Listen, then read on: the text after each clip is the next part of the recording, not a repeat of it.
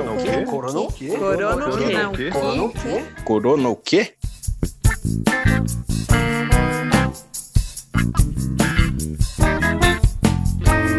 Volta às aulas sem coronavírus.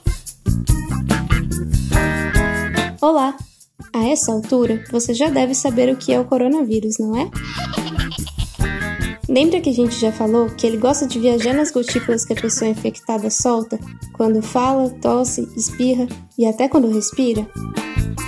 E é por isso que a gente tem que usar máscaras quando sai de casa, além de lavar bem as mãos sempre que tocar em algum lugar onde o vírus pode estar descansando. Ficar em casa é outra coisa que ajuda muito a combater o vírus.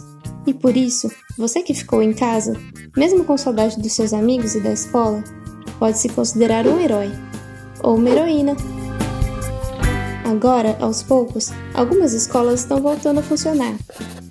Mas enquanto o coronavírus não for embora, ou não tivermos tomado a vacina contra ele, as coisas ainda não serão tão normais assim.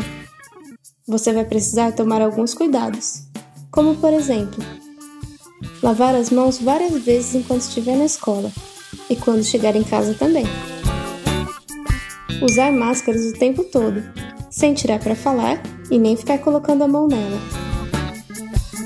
E também não ficar muito perto de outras pessoas, sejam seus amigos ou seus professores. Sair correndo e abraçando os amigos por enquanto? Nem pensar.